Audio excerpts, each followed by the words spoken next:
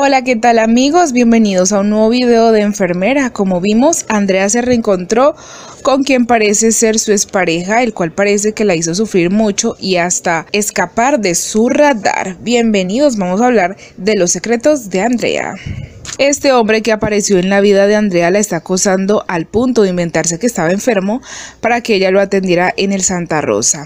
Y este hasta le encaró y le preguntó si ella sentía algo por él, pero lo cierto es que parece que ella no lo quiere ver ni en pintura. Esto le podría traer posibles complicaciones con su novio Carlos. Pues si aparece un ex complicándolo todo, ¿ustedes qué opinan? ¿Que es mejor que termine con Carlos y vuelva con su novio?